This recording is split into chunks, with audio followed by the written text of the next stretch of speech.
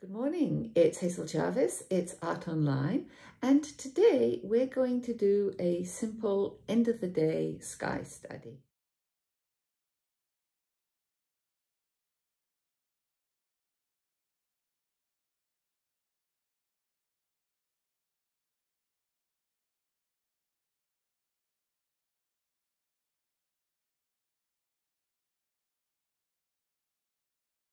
So this is the image that we're going to be working on. I've torn my paper in half, so we're just going to be doing a half sheet today. So I like to start with just a couple of quick studies, maybe a pencil study, an ink study, and a little colour study so that I know where I'm going to The very first thing that I want to capture and what drew me to this painting is this beautiful line of colour right here. my brush into the water and I load it up with yellow, number 43, and I'm just going to paint a line all the way across my page. And I've already decided that I want rough edges, so I just paint like this across. And then I'm going to get a little bit of red, number 30, just a tiny bit, not too, too much. And I'm going to stroke a little bit in at the bottom and a little bit at the top. And then I'm going to get clean water, just dip my brush in the water, and I'm going to pull this colour up because I want a nice luminous sky. And I gently stroke the brush back and forth, more water,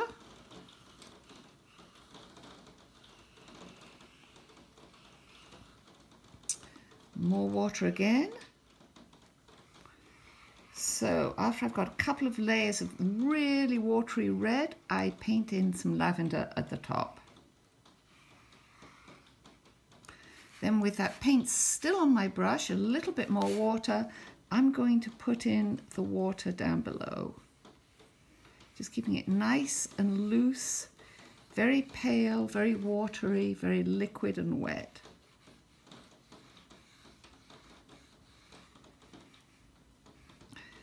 And I'll put in that lovely little pool of water.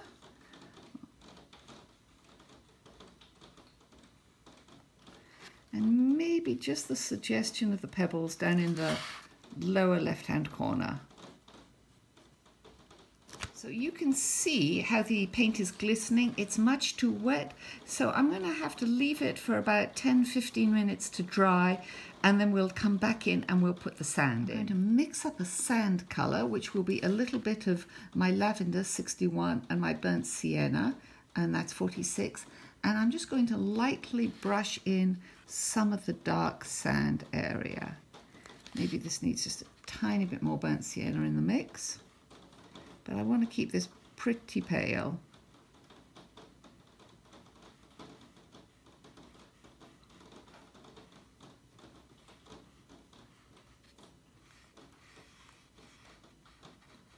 So everything that's going in is pale and watery and loose.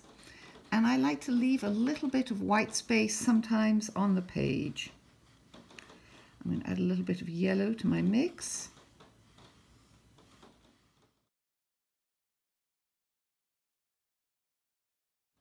So now we're going to do this beautiful wing of colour just over here.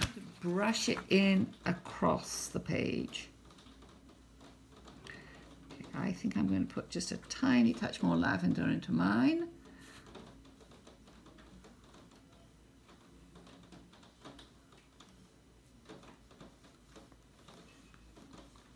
And I just stroke this colour all the way across.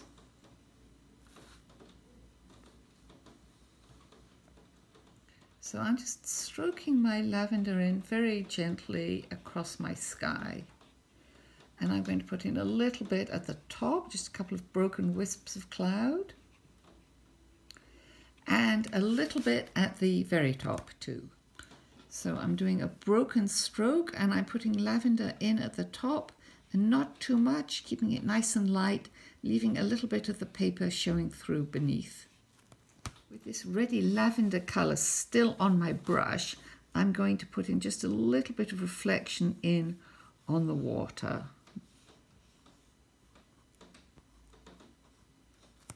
So just a little bit and then I'm going to have to leave it to dry.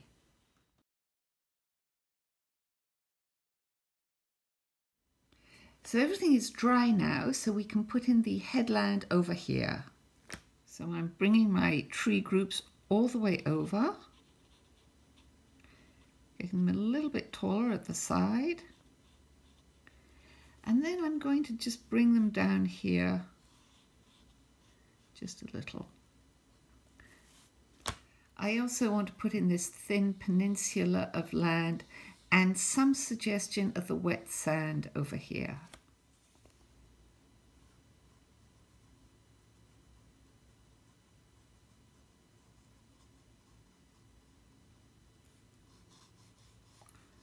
Bring down the landmass to meet that. Then I dip my brush into the water to lighten the paint on my brush, knock it off on paper towel, and I'll just go back into here to suggest that wet sand.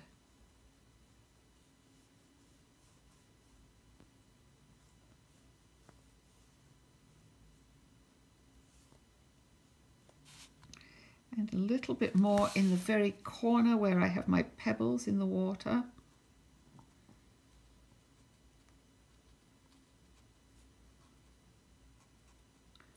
Just some light flicks like this.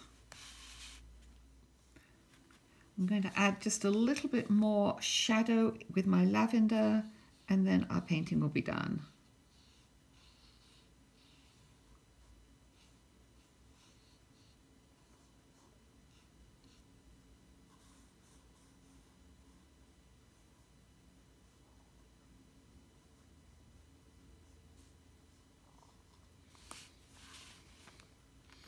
Just a tiny bit up over here.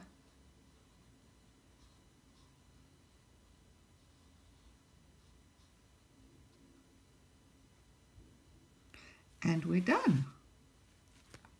Well, maybe not quite done because I think I'm just going to add a setting sun disappearing over the horizon over here with my red. Like so, and a tiny bit more reflection in the water. But now we're done. Last strokes of the day.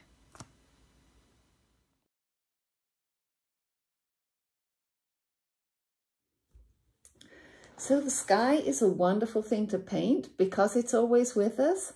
And I hope you will enjoy this video and I hope it'll encourage you to paint a, a ton of sky studies yourself and I can't wait to see what you do. Thank you.